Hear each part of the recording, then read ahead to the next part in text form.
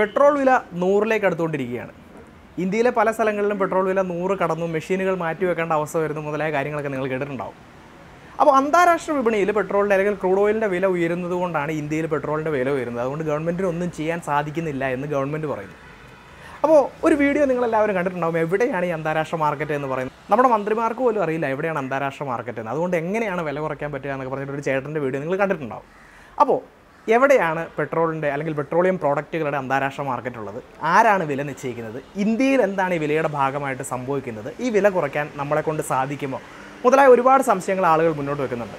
അപ്പോൾ ഇത്തരം സംശയങ്ങൾക്കുള്ള മറുപടിയാണ് ഈ വീഡിയോയിലൂടെ ഞാൻ തരാൻ വേണ്ടി ഉദ്ദേശിക്കുന്നത്. നിങ്ങൾ ഇതുവരെ ചാനൽ സബ്സ്ക്രൈബ് ചെയ്തിട്ടില്ലെങ്കിൽ ഇപ്പോൾ തന്നെ സബ്സ്ക്രൈബ് ചെയ്യുകയും ബെല്ലൈക്കൺ ഇനേബിൾ ചെയ്യുകയും ചെയ്യുക. My name is Alex what I do is explain welcome to Alex plain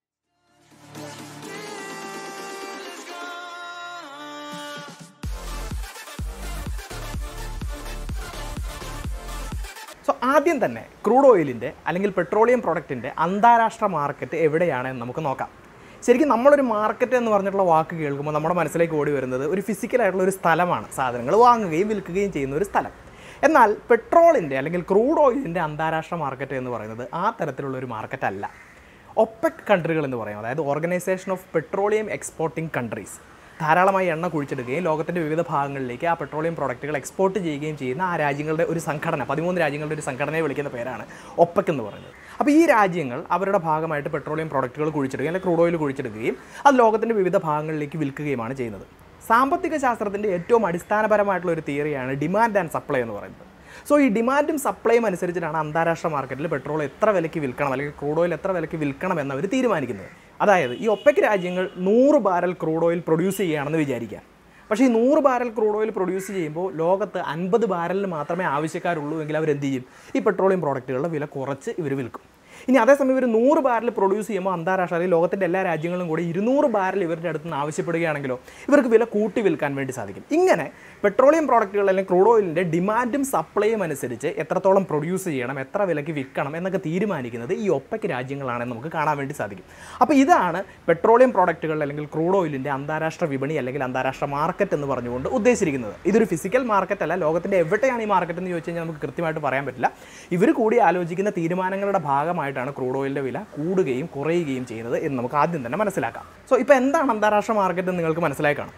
അപ്പോൾ നമ്മുടെ ഇന്ത്യയിൽ കഴിഞ്ഞ കുറച്ച് കാലങ്ങളായിട്ട് ഓരോ ദിവസവും പെട്രോളിയം പ്രോഡക്റ്റ് പെട്രോളിന്റെ ഡീസലിന്റെയും പാചകവാതകത്തിന്റെയും ഒക്കെ വില കൂടുന്ന കൂടുന്ന സമയത്ത് കേന്ദ്ര സർക്കാർ പറയുന്ന മറുപടി എന്ന് പറയുന്നത് അന്താരാഷ്ട്ര മാർക്കറ്റിൽ വില കൂടുന്നത് കൊണ്ടാണ് ഇന്ത്യയിൽ വില കൂടുന്നത് എന്നാണ്. അത് ഒരു പരിധി വരെ ശരിയാണ്. അന്താരാഷ്ട്ര മാർക്കറ്റിൽ വില കൂടിക്കൊണ്ടിരിക്കുകയാണ്. അതിന്റെ കാരണം എന്താണെന്ന് ചോദിച്ചു കഴിഞ്ഞാൽ നമ്മുടെ ഈ ലോക്ക്ഡൗണിന്റെ സമയത്ത് കോവിഡ് ലോക്ക്ഡൗണിന്റെ സമയത്ത് ഇപ്പോൾ ഒരുപാട് പെട്രോളിയം പ്രോഡക്റ്റിനൊന്നും ലോകത്ത് ആവശ്യമില്ലായിരുന്നു. കാരണം വിമാനം ഓടുന്നില്ലായിരുന്നു വാഹനങ്ങൾ ഓടുന്നില്ലായിരുന്നു ഒന്നും സംഭവിക്കുന്നില്ലായിരുന്നു. അതുകൊണ്ട് തന്നെ പെട്രോളിയം പ്രോഡക്റ്റുകളുടെ ഡിമാൻഡ് കുറവായിരുന്നത് കൊണ്ട് ക്രൂഡ് ഓയിലിന്റെ വില താഴേക്ക് പോകുന്നത് നമുക്ക് കാണാൻ സാധിക്കുമായിരുന്നു.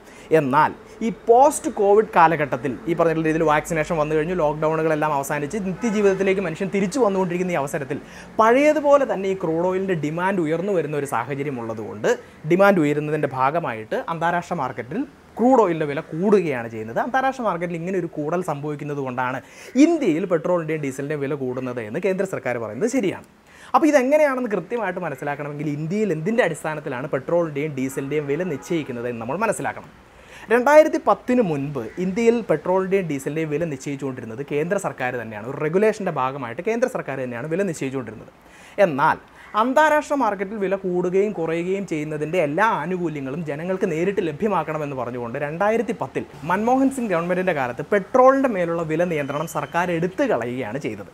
രണ്ടായിരത്തി പതിനാലിൽ ഡീസലിന്റെ മുകളിലുള്ള വില നിയന്ത്രണം ഒന്നാം എൻ ഡി എ സർക്കാരിന്റെ കാലത്ത് എടുത്തു കളയുകയും അങ്ങനെ പെട്രോളിന്റെയും ഡീസലിന്റെയും വില നിയന്ത്രണം സർക്കാരിന്റെ കയ്യിൽ നിന്ന് ഇല്ലാതാവുകയും അത് സ്വകാര്യ കമ്പനികൾ അല്ലെങ്കിൽ അന്താരാഷ്ട്ര മാർക്കറ്റിൽ ക്രൂഡ് ഓയിലിന്റെ വില കൂടുന്നതിനും കുറയുന്നതിനും അനുസരിച്ച് തീരുമാനിക്കാൻ തുടങ്ങുകയും ചെയ്തു. അപ്പോൾ അന്താരാഷ്ട്ര മാർക്കറ്റിൽ വില കൂടുന്നതിനനുസരിച്ച് നമ്മുടെ ഇന്ത്യയിൽ പെട്രോളിന്റെ ഡീസലിന്റെ വില കൂടുന്നുണ്ട്. എന്നാൽ അന്താരാഷ്ട്ര മാർക്കറ്റിൽ ക്രൂഡ് ഓയിലിന്റെ വില കുറയുന്നതിനനുസരിച്ച് ഇന്ത്യയിൽ പെട്രോളിന്റെ ഡീസലിന്റെ വില അത്ര കണ്ടങ്ങ് കുറയുന്നത് നമുക്ക് കാണാൻ സാധിക്കുന്നില്ല. കേന്ദ്ര സർക്കാർ പറയുന്ന പ്രകാരമായിരുന്നെങ്കിൽ രണ്ടായിരത്തി പതിനാല് മെയ് മാസത്തിൽ ഒരു ബാരൽ ക്രൂഡ് ഓയിൽ ഒരു ബാരൽ ക്രൂഡ് ഓയിൽ എന്ന് പറഞ്ഞു കഴിഞ്ഞാൽ നൂറ്റി അൻപത്തി ഒൻപത് ലിറ്റർ ക്രൂഡ് ഓയിലാണ് ഒരു ബാരൽ ക്രൂഡ് ഓയിലിന് അന്താരാഷ്ട്ര മാർക്കറ്റിൽ നൂറ്റി അഞ്ച് ഡോളർ ഉണ്ടായിരുന്നു. അപ്പോൾ ഇന്ത്യയിലെ പെട്രോളിന്റെ വില എന്ന് പറയുന്നത് അറുപത്തിയഞ്ച് രൂപയായിരുന്നു. എന്നാൽ രണ്ടായിരത്തി ഇരുപത് ഡിസംബറിൽ അന്താരാഷ്ട്ര മാർക്കറ്റിൽ ഒരു ബാരൽ ക്രൂഡ് ഓയിലിന്റെ വില എന്ന് പറയുന്നത് വെറും അൻപത് ഡോളർ മാത്രമാണ്. പക്ഷേ ഇന്ത്യയിലെ പെട്രോളിന്റെ വില എന്ന് പറയുന്നത് തൊണ്ണൂറ് രൂപയാണ്. സോ അന്താരാഷ്ട്ര മാർക്കറ്റിൽ പകുതിയിൽ താഴേക്ക് വില കുറഞ്ഞിട്ടും എന്തുകൊണ്ടാണ് ഇന്ത്യയിലെ പെട്രോളിന്റെ വില മുകളിലേക്ക് പോകുന്നത്? കാരണം അന്താരാഷ്ട്ര മാർക്കറ്റിൽ കൂടുകയും കുറയുകയും ചെയ്യുന്നതിനനുസരിച്ച് ഇന്ത്യയിലെ പെട്രോളിന്റെ വില കൂടുകയും കുറയുകയും ചെയ്യാൻ ചെയ്യുന്നതിന് വേണ്ടിയിട്ടാണ് ഈ റെഗുലേഷൻ എടുത്ത് മാറ്റിയത്. എന്നാൽ ആ റെഗുലേഷൻ എടുത്ത് മാറ്റിയതിന് ശേഷവും അന്താരാഷ്ട്ര മാർക്കറ്റിൽ കുറയുമ്പോഴും ഇന്ത്യയിൽ കൂടുന്നതിന്റെ കാരണം എന്താണെന്ന് നമ്മൾ മനസ്സിലാക്കണമെങ്കിൽ ഇന്ത്യയിൽ എങ്ങനെയാണ് പെട്രോളിന്റെ വില നിശ്ചയിക്കുന്നത് നമ്മൾ മനസ്സിലാക്കണം. രണ്ടായിരത്തി ഇരുപത്തി ഒന്ന് മാർച്ച് ഒന്നാം തീയതി ഡൽഹിയിൽ ഒരു ലിറ്റർ പെട്രോളിന്റെ വില എങ്ങനെയാണ് നിശ്ചയിക്കപ്പെട്ടിരിക്കുന്നത് എന്നാണ് ഈ ചാർട്ടിൽ നമുക്ക് കാണാൻ വേണ്ടി സാധിക്കുന്നത്.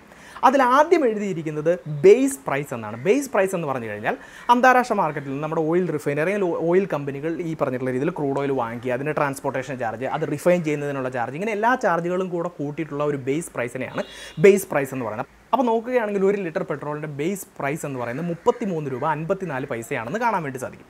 ഇനി ഇതിന്റെ മുകളിലേക്കാണ് കേന്ദ്ര സർക്കാരിന്റെ ടാക്സുകൾ വരുന്നത് നമുക്ക് കാണാൻ വേണ്ടി സാധിക്കുക. അപ്പോൾ കേന്ദ്ര സർക്കാരിന്റെ ടാക്സുകളെ പൊതുവെ എക്സൈസ് ഡ്യൂട്ടീസ് എന്നാണ് പറയുന്നത്. അപ്പോൾ എക്സൈസ് ഡ്യൂട്ടി മാത്രമല്ല അതിനകത്ത് എക്സൈസ് ഡ്യൂട്ടി ഉണ്ട് ബേസിക് എക്സൈസ് ഡ്യൂട്ടി ഉണ്ട് അഡീഷണൽ എക്സൈസ് ഡ്യൂട്ടി ഉണ്ട് അതുപോലെ തന്നെ കാർഷിക സെസ് എന്നൊക്കെ പറഞ്ഞിട്ട് കുറച്ച് അല്ലാത്ത സെസ്സുകളും കാര്യങ്ങളൊക്കെ ഉണ്ട്. ഇതെല്ലാം കൂടെ കൂട്ടിയിട്ട് നോക്കുകയാണെങ്കിൽ മുപ്പത്തിരണ്ട് രൂപ തൊണ്ണൂറ് പൈസയാണ് കേന്ദ്ര സർക്കാർ ഒരു ലിറ്റർ പെട്രോളിന്റെ മുകളിൽ ഈടാക്കുന്ന ടാക്സ് എന്ന് കാണാൻ വേണ്ടി സാധിക്കും.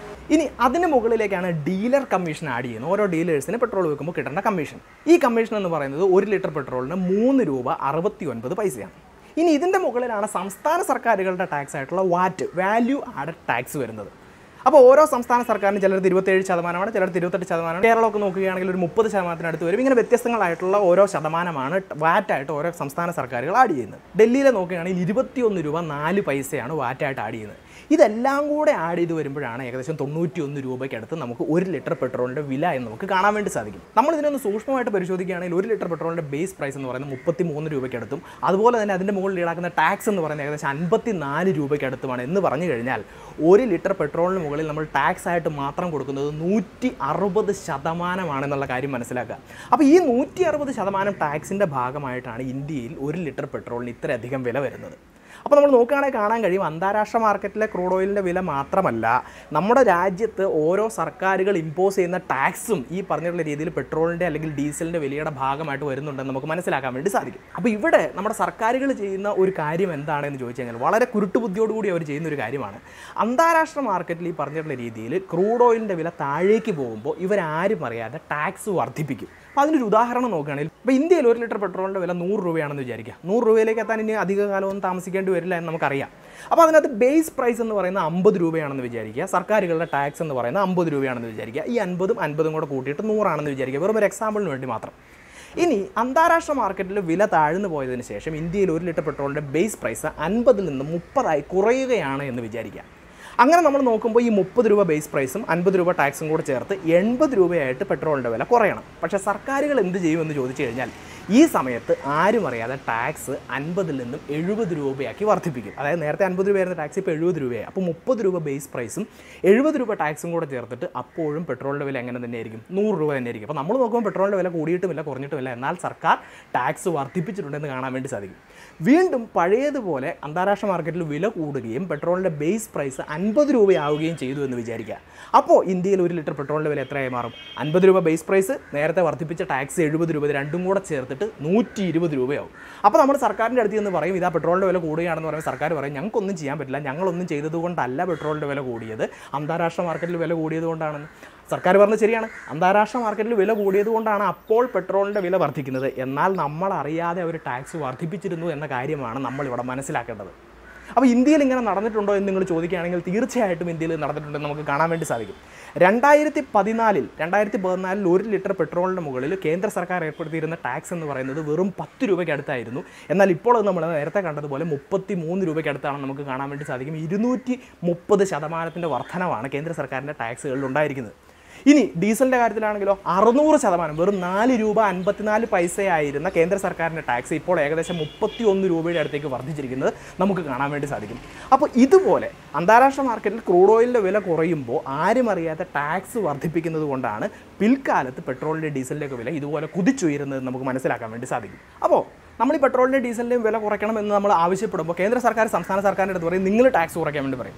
സംസ്ഥാന സർക്കാർ കേന്ദ്ര സർക്കാരിന്റെ അടുത്ത് പറയും നിങ്ങൾ ടാക്സ് കുറയ്ക്കാൻ വേണ്ടി പറയും. ഇപ്പോൾ കേരളത്തിലെ ഈ പറഞ്ഞിട്ടുള്ള രീതിയിൽ കേന്ദ്ര സർക്കാരിന്റെ പാർട്ടിയെ സപ്പോർട്ട് ചെയ്യുന്ന രാഷ്ട്രീയക്കാരൊക്കെ പറയുന്ന പ്രധാനപ്പെട്ട കാര്യം എന്ന് പറയുന്നത് കേന്ദ്ര സർക്കാർ ഈ പറഞ്ഞിട്ടുള്ള രീതിയിൽ എക്സൈസ് ഡ്യൂട്ടി വാങ്ങിക്കുന്നുണ്ട് അല്ലെങ്കിൽ കേന്ദ്ര സർക്കാരിന്റെതായിട്ടുള്ള ടാക്സുകൾ ഇമ്പോസ് ചെയ്യുന്നുണ്ടെങ്കിലും അതിന്റെ നാൽപ്പത്തി ഒന്ന് ശതമാനം സംസ്ഥാന സർക്കാരിന് തന്നെയാണ് കൊടുക്കുന്നത് എന്ന് പറഞ്ഞു കഴിഞ്ഞാൽ ഒരു ലിറ്റർ പെട്രോൾ വിൽക്കുമ്പോൾ ഏറ്റവും കൂടുതൽ ലാഭം ഉണ്ടാകുന്ന സംസ്ഥാന സർക്കാരിനാണ് മറിച്ച് കേന്ദ്ര സർക്കാരിനല്ല എന്നാണ് അവർ പറയുന്നത്. ഇതിനകത്ത് എത്രത്തോളം യാഥാർത്ഥ്യമുണ്ടെന്ന് നമുക്ക് നോക്കാം. ആ പറയുന്ന കാര്യം ശരിയാണ്. കേന്ദ്ര സർക്കാരിന് കിട്ടുന്ന നികുതിയുടെ ഒരു പ്രത്യേക ശതമാനം സംസ്ഥാന സർക്കാരുകൾക്ക് വീതിച്ചു കൊടുക്കണമെന്ന് പറയുന്നത് ശരിയായിട്ടുള്ള കാര്യമാണ്. പക്ഷേ ഇതിനകത്ത് ആരും പറയാത്ത അല്ലെങ്കിൽ ചിലർക്കെങ്കിലും അറിയാത്ത ഒരു കാര്യമെന്ന് പറയുന്നത് ബേസിക് എക്സൈസ് ഡ്യൂട്ടിയുടെ നാൽപ്പത്തിയൊന്ന് ശതമാനം മാത്രമാണ് സംസ്ഥാന സർക്കാരുകൾക്ക് വീതിച്ചു കൊടുക്കേണ്ടത്. അപ്പോൾ ഇവിടെയാണ് കേന്ദ്ര സർക്കാരുകളുടെ ഒരു ബുദ്ധി നമുക്ക് മനസ്സിലാക്കാൻ വേണ്ടി സാധിക്കുക. ഇപ്പോഴും ഒരു ലിറ്റർ പെട്രോളിന്റെ ബേസിക് എക്സൈസ് ഡ്യൂട്ടി എന്ന് പറയുന്നത് വെറും രണ്ട് രൂപ തൊണ്ണൂറ്റിയെട്ട് പൈസ മാത്രമാണ്. അതായത് ഓരോ തവണയും ടാക്സ് വർദ്ധിപ്പിക്കുമ്പോൾ കേന്ദ്ര സർക്കാർ വർദ്ധിപ്പിക്കുന്നത് ബേസിക് എക്സൈസ് ഡ്യൂട്ടി അല്ല. അവർ അഡീഷണൽ എക്സൈസ് ഡ്യൂട്ടിയും മറ്റ് സെസ്സുകളും കാര്യങ്ങളൊക്കെയാണ് അവർ ഒരു ലിറ്റർ പെട്രോളിന്റെ വിലയുടെ മുകളിൽ വർദ്ധിപ്പിക്കുക. ബേസിക് എക്സൈസ് ഡ്യൂട്ടി എപ്പോഴും ചെറിയൊരു തുക മാത്രമായിട്ട് മാറ്റി വെക്കും. കാരണം എന്താണ്? അതിന്റെ നാൽപ്പത്തിയൊന്ന് ശതമാനം സംസ്ഥാന സർക്കാരുകൾക്ക് കൊടുക്കണം. സോ രണ്ട് രൂപ തൊണ്ണൂറ്റെട്ട് പൈസയുടെ നാൽപ്പത്തിയൊന്ന് ശതമാനം എന്ന് പറയുമ്പോൾ ഏകദേശം ഒരു രൂപ മുപ്പത് പൈസയോളം വരും. ഈ ഒരു രൂപ മുപ്പത് പൈസ എല്ലാ സംസ്ഥാനങ്ങൾക്കുമായിട്ടാണ് ഇവർ വീതിച്ചു കൊടുക്കേണ്ടത്. അത് എന്ന് പറഞ്ഞു കഴിഞ്ഞാൽ ഏകദേശം അതിന്റെ ഒൻപത് ശതമാനമാണ് കേരളത്തിന് കിട്ടുന്നത് എന്നാണ് കണക്കുകൾ സൂചിപ്പിക്കുന്നത്. അതായത് ഒരു ലിറ്റർ പെട്രോൾ വിൽക്കുമ്പോൾ കേരളത്തിന് കേന്ദ്ര സർക്കാരിന്റെ നികുതി വരുമാനത്തിൽ നിന്ന് കിട്ടുന്ന ആ ഒരു ഭാഗം എന്ന് പറയുന്നത് വെറും പത്ത് പൈസയുടെ അടുത്ത് മാത്രമാണെന്ന് കാണാൻ വേണ്ടി സാധിക്കും. സോ രാഷ്ട്രീയ പാർട്ടികളുടെ ഈ വാദങ്ങൾ നിങ്ങൾ ഒരിക്കലും വിശ്വസിക്കരുത്. ഒരു ലിറ്റർ പെട്രോൾ ഇന്ത്യയിൽ വിൽക്കുമ്പോൾ ഏറ്റവും കൂടുതൽ പണം അതിനകത്ത് ഉണ്ടാക്കുന്നത് കേന്ദ്ര സർക്കാർ തന്നെയാണ്. എന്ന് വെച്ച് സംസ്ഥാന സർക്കാർ പൈസ ഉണ്ടാക്കുന്നില്ല എന്നല്ല എന്നാൽ സംസ്ഥാന സർക്കാരും പൈസ ഉണ്ടാക്കുന്നുണ്ട്. എന്നാൽ കഴിഞ്ഞ കാലങ്ങളിലായി ഏറ്റവും അധികം നികുതി വർദ്ധിപ്പിക്കുകയും ഇതിനകത്ത് ഏറ്റവും കൂടുതൽ ലാഭം ഉണ്ടാക്കുകയും ചെയ്തിരിക്കുന്നത് കേന്ദ്ര സർക്കാർ തന്നെയാണെന്ന് നമുക്ക് കാണാൻ വേണ്ടി സാധിക്കും. ഇരുന്നൂറ്റി മുപ്പത് ശതമാനം വർധനവ് പെട്രോളിന്റെ വിലയിലും അതുപോലെ തന്നെ അറുന്നൂറ് ശതമാനം വർധനവ് ഡീസലിന്റെ കാര്യത്തിലും ഉണ്ടായി എന്ന് ഞാൻ നേരത്തെ കണക്കുകൾ നിങ്ങളെ കാണിച്ചിരുന്നു. രണ്ടായിരത്തി ഇരുപതിൽ കേന്ദ്ര സർക്കാരിന് ഈ പറഞ്ഞിട്ടുള്ള രീതിയിൽ പെട്രോളിൽ നിന്ന് കിട്ടുന്ന നികുതി വരുമാനം എന്ന് പറഞ്ഞിരിക്കുന്നത് ഏകദേശം രണ്ട് പോയിന്റ് രണ്ട് ലക്ഷം കോടി രൂപയ്ക്കടുത്താണ്. രണ്ടായിരത്തി ഇരുപത്തിയൊന്നിൽ ഇത് കണക്ക് കൂട്ടിയിരിക്കുന്നത് ഏകദേശം മൂന്ന് പോയിന്റ് ഏഴ് ലക്ഷം കോടിയാണെന്നാണ് പറയുന്നത്. അതായത് ഏകദേശം ഒന്നര ലക്ഷം കോടിയുടെ വർധനവാണ് ഒന്നും ചെയ്യാതെ കൈ നനയാതെ മീൻ പിടിക്കുക എന്ന് പറയുന്ന പോലെ സർക്കാരുകൾക്ക് കിട്ടുന്നത്. ഇങ്ങനെ ഒരു വലിയ വരുമാനം സർക്കാരുകൾക്ക് കിട്ടുന്നത് കൊണ്ടാണ് ഒരിക്കലും അവർ ഈ നികുതി കുറയ്ക്കാതെ അല്ലെങ്കിൽ ഈ പറഞ്ഞിട്ടുള്ള രീതിയിൽ പെട്രോളിന്റെ ഡീസലിന്റെ വില കുറയ്ക്കുന്നതിന് വേണ്ടി നികുതി കുറയ്ക്കാൻ അവരൊരിക്കലും തയ്യാറാകാത്തതെന്ന് നമുക്ക് കാണാൻ വേണ്ടി സാധിക്കും. ഇനി മുന്നോട്ട് വരുന്ന മറ്റൊരു വാദം എന്ന് പറയുന്നത് പെട്രോളിനെയും ഡീസലിനെയും ജി എസ് ടിയുടെ കീഴിൽ കൊണ്ടുവന്നു കഴിഞ്ഞാൽ പെട്രോളിന്റെ ഡീസലിന്റെ വില കുറയ്ക്കാൻ സാധിക്കും. സർക്കാരുകൾ അതിനുവേണ്ടി ശ്രമിക്കണമെന്നാണ് ആളുകൾ മുന്നോട്ട് പറയുന്നത്. അപ്പോൾ നമ്മുടെ ജി എസ് ടിയുടെ കാര്യം നോക്കുകയാണെങ്കിൽ ജി എസ് ടിയിൽ ഈ പറഞ്ഞ രീതിയിൽ എക്സൈസ് ഡ്യൂട്ടി എന്നോ വാറ്റ് എന്നോ പറഞ്ഞിട്ട് സെപ്പറേറ്റ് ആയിട്ടുള്ള ടാക്സുകളൊന്നുമില്ല ഒറ്റ ടാക്സ് മാത്രമാണ് അവർ ഈടാക്കുന്നത്. അപ്പോൾ ഇന്ത്യയിൽ ഇപ്പോൾ നിലവിലുള്ള ജി എസ് ടി സമ്പ്രദായത്തെക്കുറിച്ച് നോക്കുകയാണെങ്കിൽ അഞ്ച് സ്ലാബ്സ് ഓഫ് ടാക്സുകളാണ് നമ്മൾ പറയുക. സീറോ പെർസെന്റേജ് അഞ്ച് പെർസെന്റേജ് പന്ത്രണ്ട് പെർസെന്റേജ് പതിനെട്ട് പെർസെന്റേജ് ഇരുപത്തിയെട്ട് ശതമാനം. അപ്പോൾ ഇരുപത്തിയെട്ട് ശതമാനമാണ് ജി എസ് ടി പ്രകാരം നമുക്ക് ചുമത്താൻ പറ്റുന്ന ഏറ്റവും വലിയ ടാക്സ് റേറ്റ് എന്ന് പറയുന്നത്. അപ്പോൾ പെട്രോളിന്റെയും ഡീസലിന്റെയും കാര്യത്തിൽ നമ്മൾ നോക്കുകയാണെങ്കിൽ അല്ലെങ്കിൽ നേരത്തെ നമ്മൾ കണ്ട കണക്കിൽ നമ്മൾ ഇരുപത്തിയെട്ട് ശതമാനം പറയുകയാണെങ്കിൽ പെട്രോളിന് മുകളിൽ വെറും ഒമ്പതോ അല്ലെങ്കിൽ പത്ത് രൂപയാണ് മാക്സിമം രണ്ട് സർക്കാരുകൾക്കും കൂടി ഈടാക്കാൻ വേണ്ടി സാധിക്കുക. എന്ന് പറഞ്ഞു കഴിഞ്ഞാൽ പെട്രോളിന്റെ വില ഒരു ലിറ്ററിന് നാൽപ്പത്തി ഏഴ് രൂപയായിട്ട് കുറയുന്നത് നമുക്ക് കാണാൻ വേണ്ടി സാധിക്കും.